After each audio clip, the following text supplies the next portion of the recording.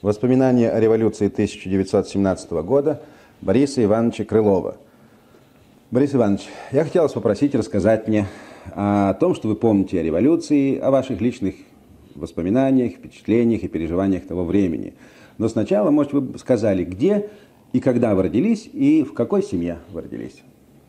Э, я родился в 1891 году в городе Нижнем Новгороде.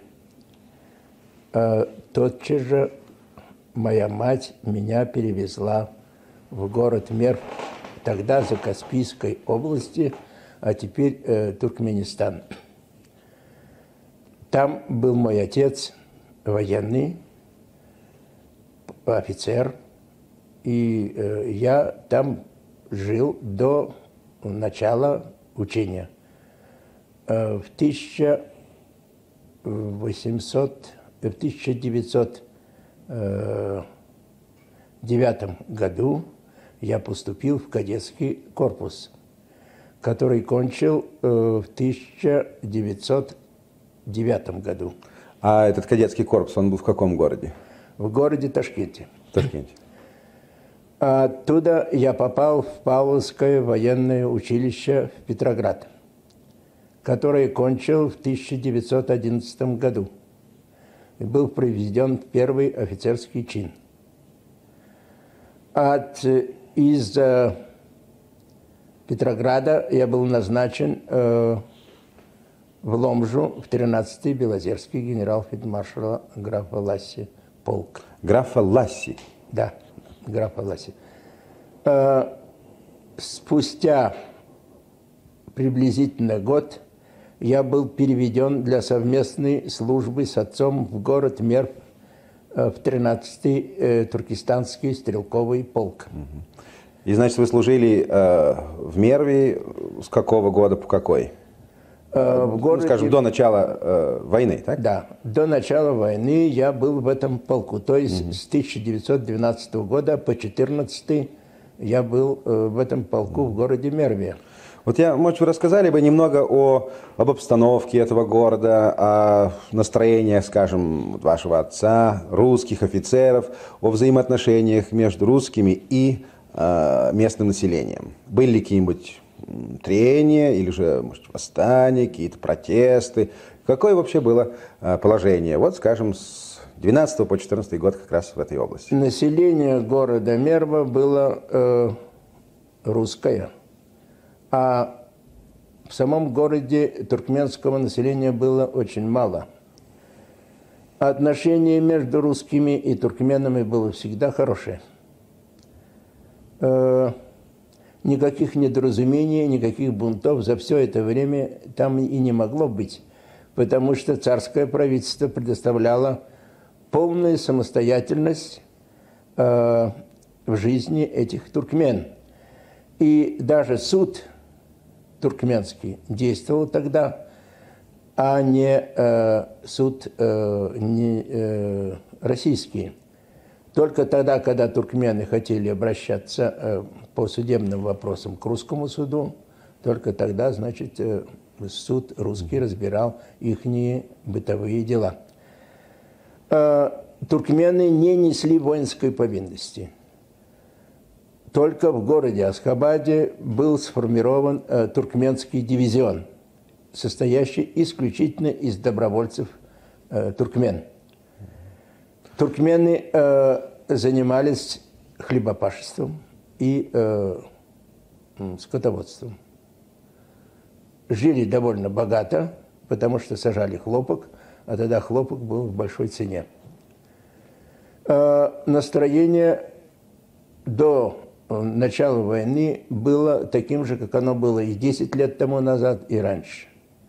Мои родители были сторожилами э, города Мерва, и при них этот город обстраивался – вот и все, что я могу сказать по поводу штатской жизни э, в этом. Хорошо.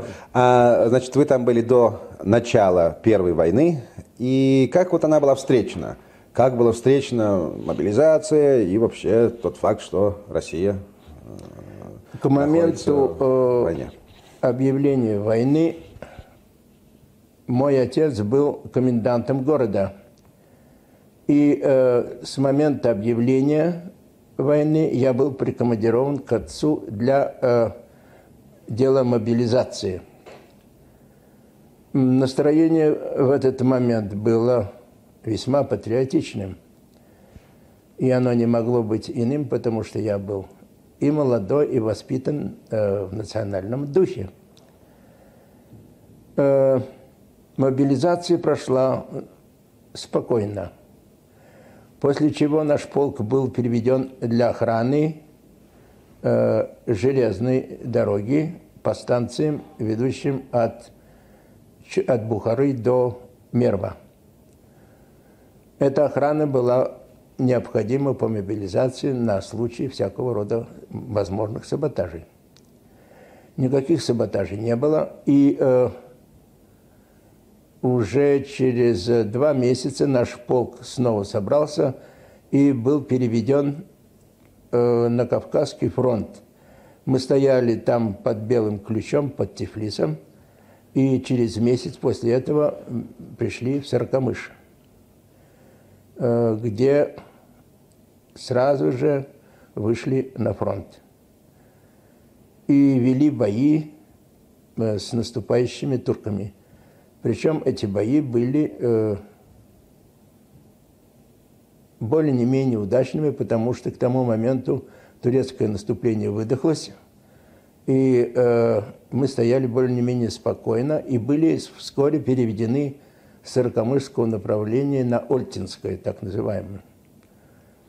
И там нач... после этого началось наступление, уже в декабре 2014 года началось наступление Нверпаши в обход Энвер Паши, да. Энвер Паши. И, значит, нам пришлось снова вести бои, упорные бои э, против наступающих турецких войск. И мы отходили, днем воевали, а ночью отходили на новые позиции. И в конце концов пришли э, на позиции к Саркамуши, где мы остановились. В тот момент, значит, уже начал выдыхаться и Инвер Паша, потому что ему дали отпор в Сорокомыши. И э, мы до января месяца не вели никаких боев. И после января началось второе, уже наше наступление вперед. Э, в 15 году, в апреле месяце, я был ранен в живот и эвакуирован в Тифлис. Через месяц я уже вернулся в полк, и э, бои продолжались. Это были бои в 15 году в конце за взятие Эрзерума. Причем наш был, был правее Эрзерума, и наступление развивалось, как известно всем, нормально, и в конце концов мы вышли на Байбургское направление. Э, Там э, в начале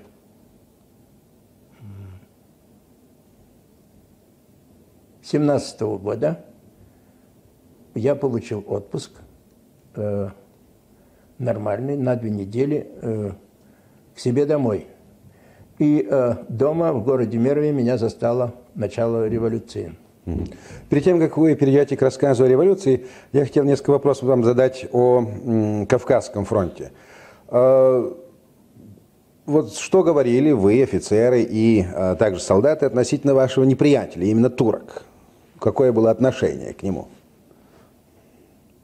Считалось ли это они доблестными солдатами, храбрыми, или же нет?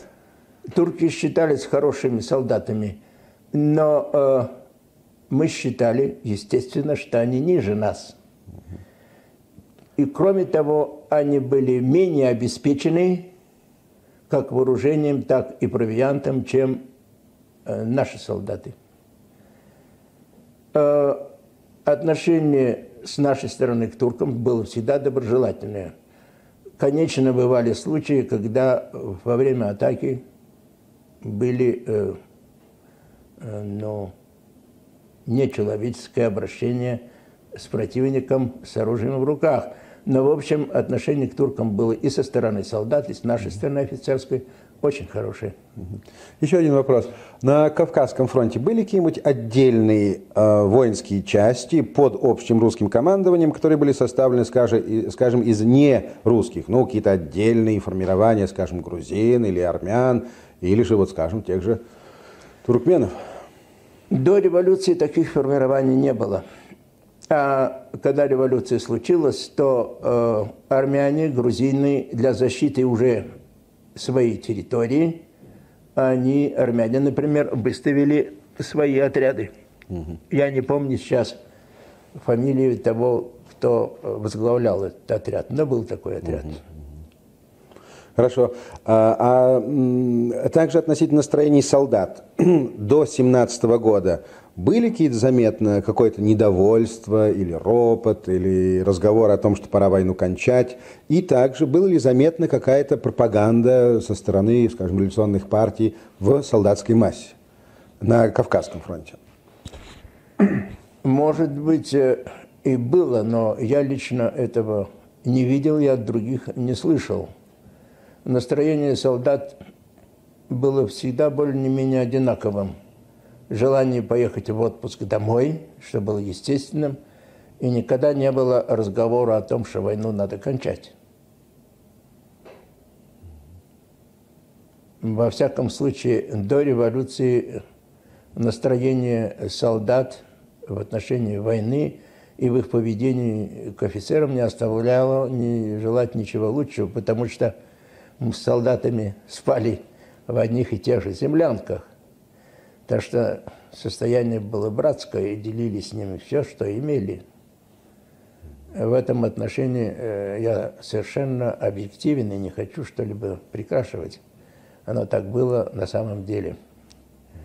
Особенно это я почувствовал тогда, когда мне пришлось уезжать с фронта, и когда я прощался со своими солдатами. Тут я видел с их стороны э, явное э, горе, что я уезжаю. Несмотря на то, что тогда уже у них появились, появились мечты, может быть, бросить фронт и ехать к себе домой. Значит, к февралю 17 года вы как раз были э, в отпуску, так? Да. да. И сообщение о том, что в, в Петрограде произошли какие-то события, революция, это вас застало именно у себя дома, так? Да. Угу. Ну а вот первая ваша реакция на это, как, что вы подумали, когда вот вы услыхали, что значит отречение э, государя, э, какое-то временное правительство? Да, несмотря на то, что до этого в воздухе носилось, что революция в России может произойти, несмотря на это, когда случилась революция, это было большим ударом по моему личному сознанию – не не курю. И до того сильным, что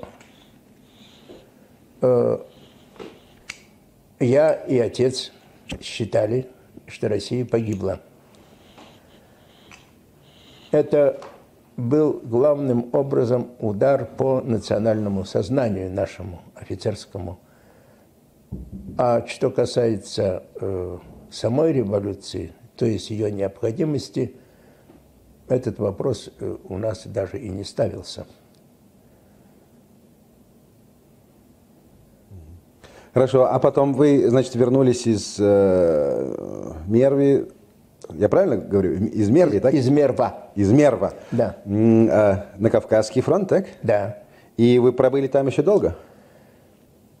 Э, я пробыл там приблизительно до июня месяца, я думаю. Угу. Вот, может, вы рассказали, как менялась обстановка и также настроение и ваше, и солдатское вот за вот эти месяца, значит, за весну и начало лета?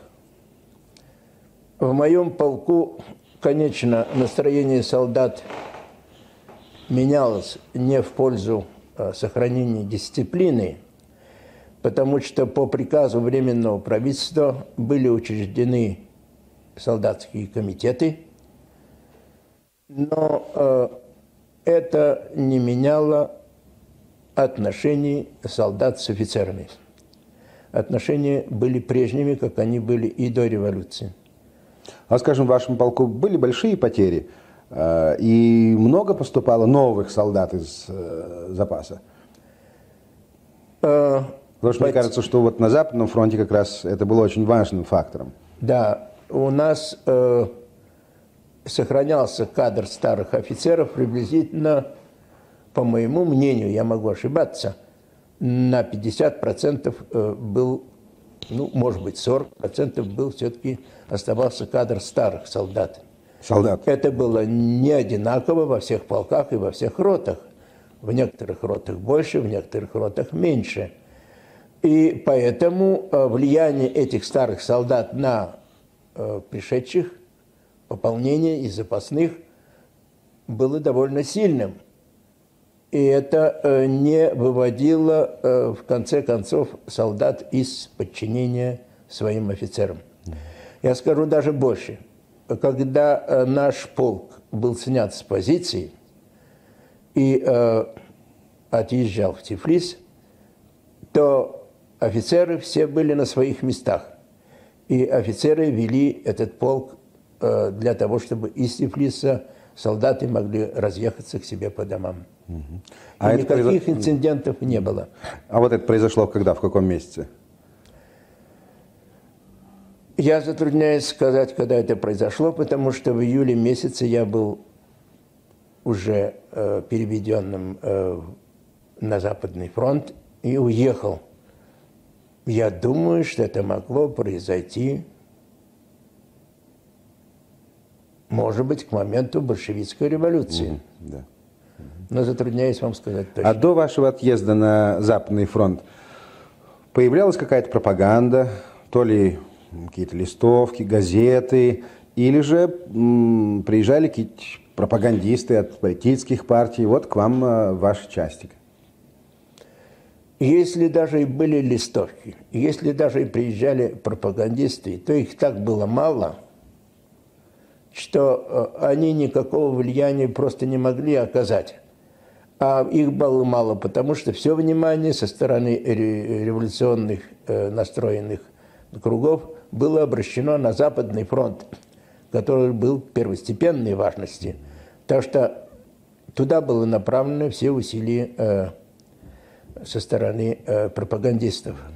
Вот вы говорили, что у вас были довольно такие близкие отношения с солдатами. Опять-таки, после революции, что они вас спрашивали? Э, что их особенно интересовало? Что они не понимали, скажем, в обстановке? Э, боюсь вам утверждать, что они ничего меня не спрашивали по поводу революции, потому что они питались собственными э, разговорами в своей среде по этому вопросу. Если они э, задавали мне вопросы, то главным образом относительно того, когда можно будет поехать домой. Это вопрос, который их интересовал очень сильно – и главным образом, потому что расстояние э, от Кавказского фронта в горах затерянный до их собственных деревень было очень большим. И пробраться туда, конечно, требовалось время. И отпуск, отпусков было с фронта довольно мало в течение войны. Так что многие солдаты не видели своих семей с самого начала войны.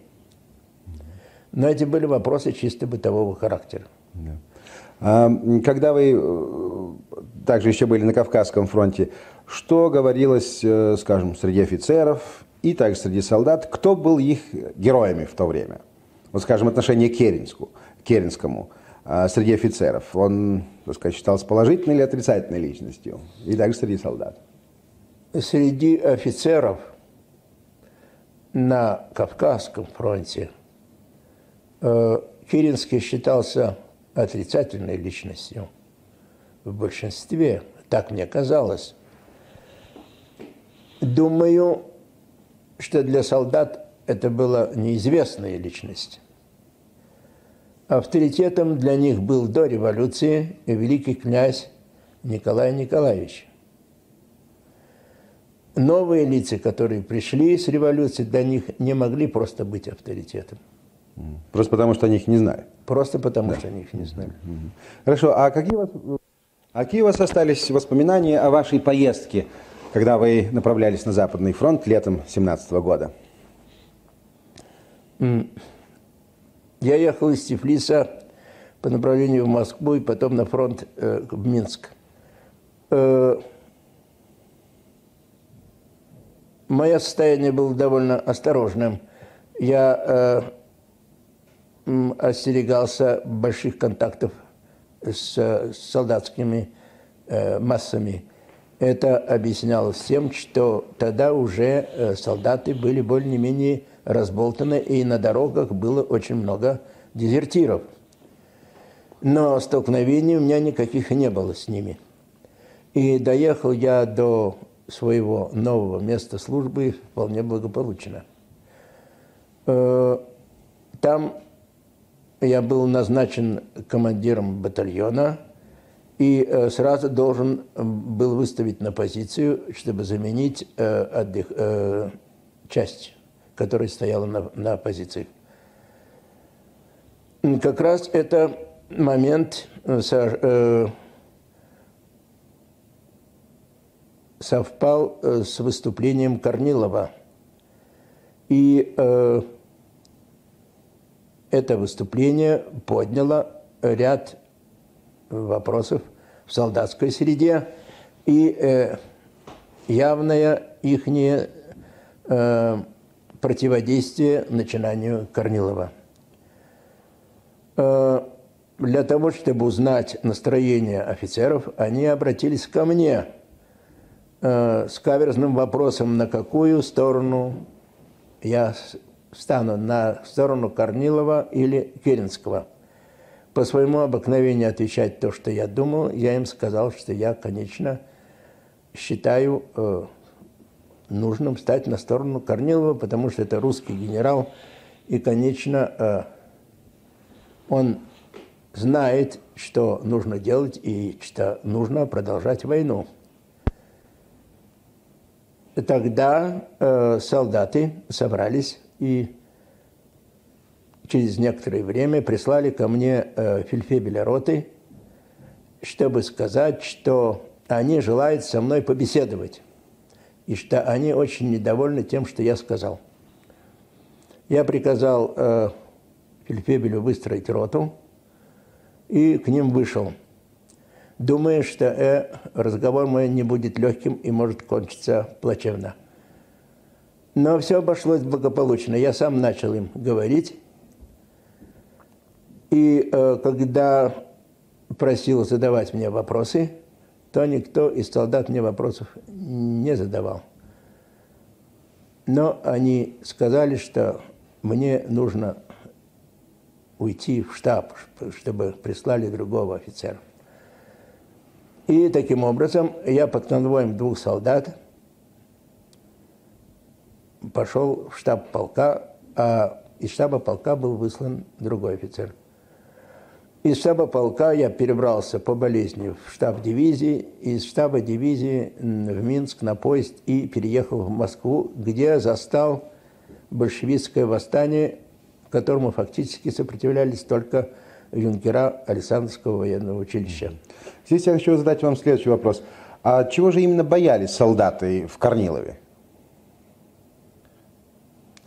Продолжатели войны. Угу.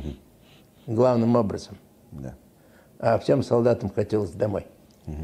А разница в настроении солдатской массы Кавказского фронта и Западного фронта была большая? Да. Э если сравнивать настроение солдат Кавказского фронта в начале 17 года и настроение солдат э, на Западном фронте к концу 17 года, то настроение, конечно, было разное. Там вы э, на Кавказском фронте имели со старым солдатом,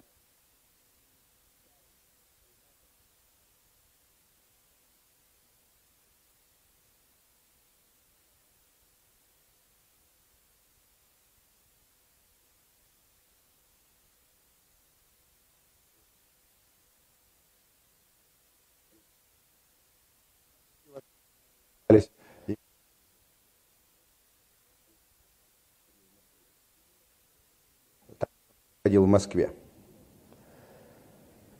В Москве во время восстания большевистского э, мне трудно было выходить и опасно из, э, из э, больницы. Я вышел оттуда тогда, когда уже большевики захватили власть. И пробирался на Курский вокзал с целью ехать к себе в Туркестан. И вот по дороге меня захватил большевистский патруль и привел меня в штаб своего запасного батальона. А захватил он почему? Потому что э, у меня была на перевязи рука. И этот патруль решил, что я принимал участие э, в защите э, Москвы от большевиков. К моему счастью, в штабе э, этого батальона –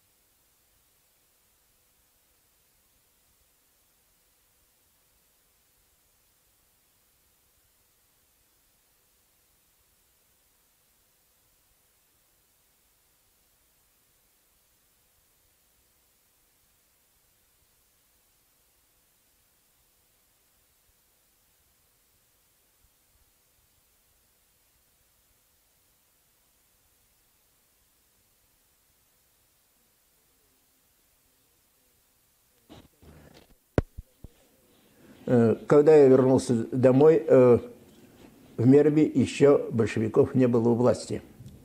Но через очень короткое время они взяли бразды правления и без всяких каких-либо потрясений. Э, я в этот период бедствовал материально, мне приходилось продавать все, что я имел. Вскоре после этого вернулся отец – и когда началось восстание против э, большевиков кизил-арбатских рабочих, в нашей, каких, простите? Кизил-арбатских. Кизил-арбатских. Рабочих. Это между Асхабадом и Красноводском.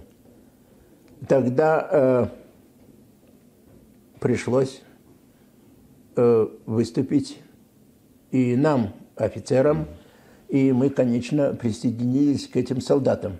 Ну вот, может, вы рассказали немножко более подробно об этом восстании? А, какие были его причины и, так сказать, как оно вообще а, появилось? Э, Кизило-арматские рабочие, их кадровый состав был в большинстве случаев из сверхсрочных солдат, которые оставались в Туркестане и э, там обзавелись семьями, домами и жили довольно хорошо.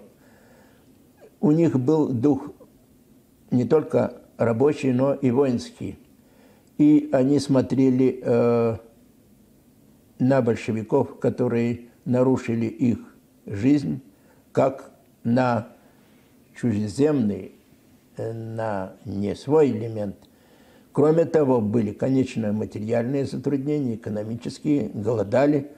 И все вместе взятые повело к восстанию этих рабочих против большевиков.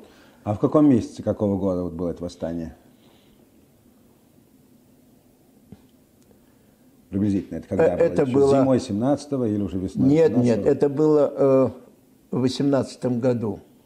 после весны, по-моему.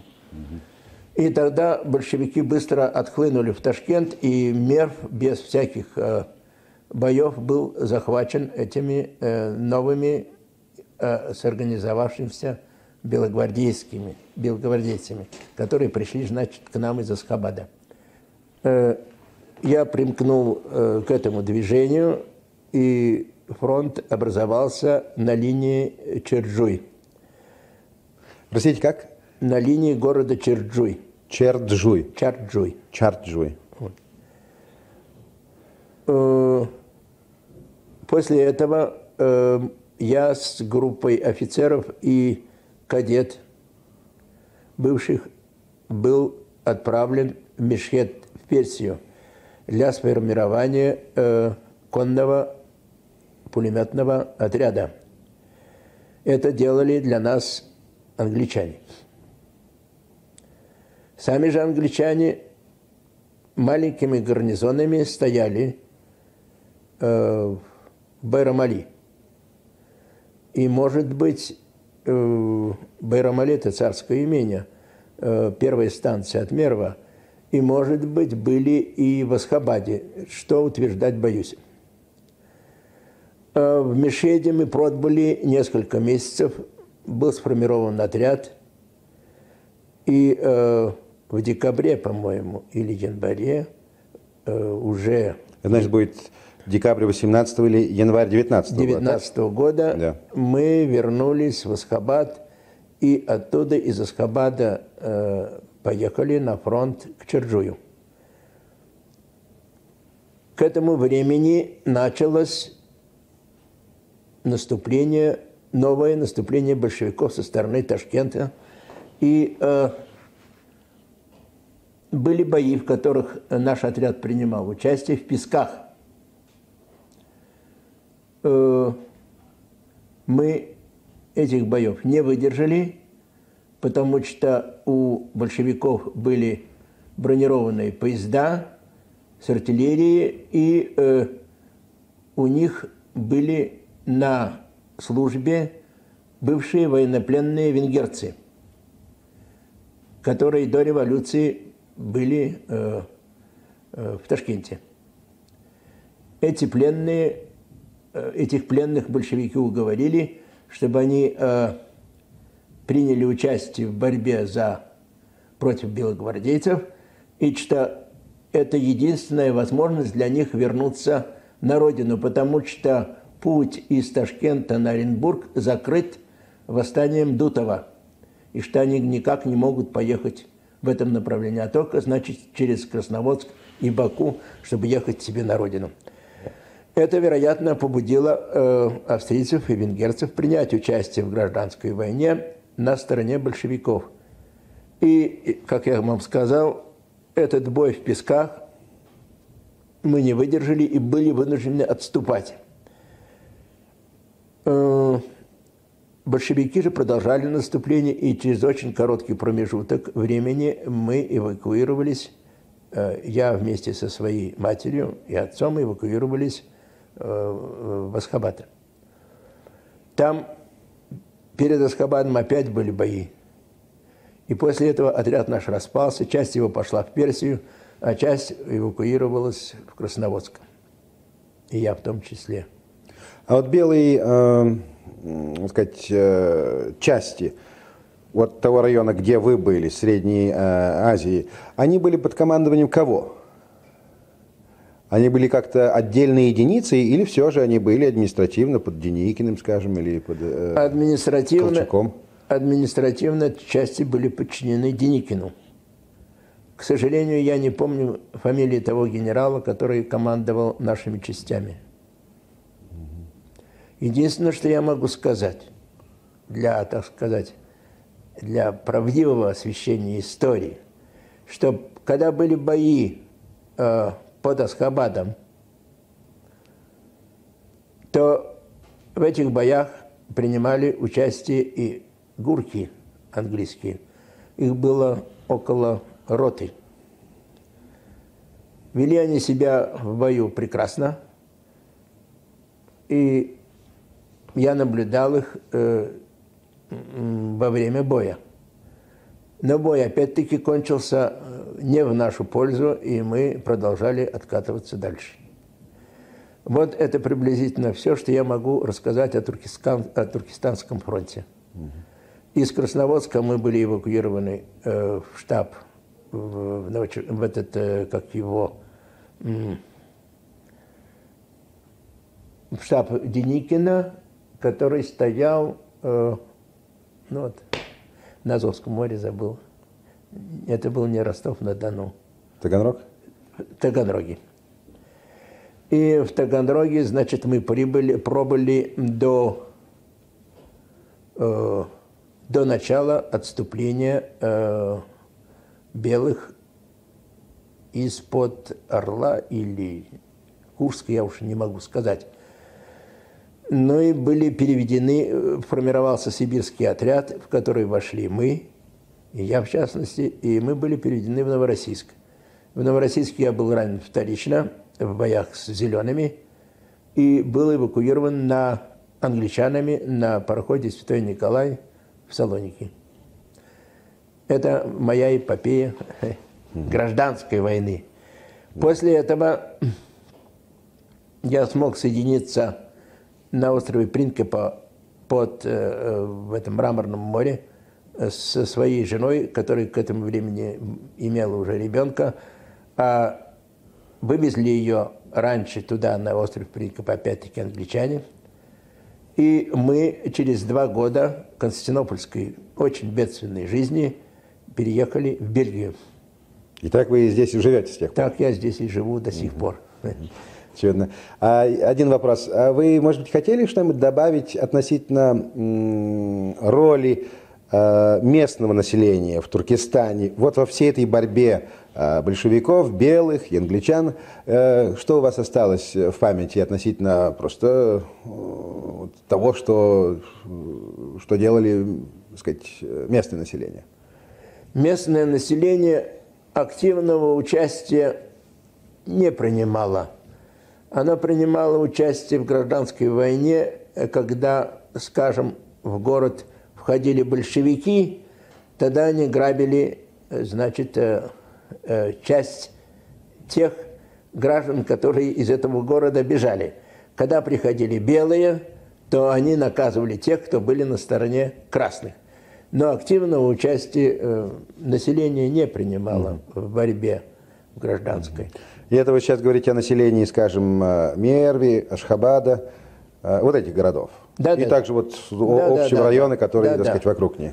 А туркмены э, были в большинстве своем на стороне белых. И э, поскольку они э, были неподготовленными вояками, то они быстро дезертировали в пески, и э, никакого участия фактически в гражданской войне не принимали, если не считать того знаменитого дивизиона, который был при Корнилове, и который его, собственно, довел до, э, до Дона. Хорошо, большое спасибо. Не за что.